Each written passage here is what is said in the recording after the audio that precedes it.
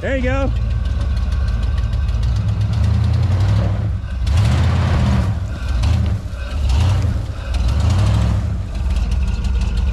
Yeah.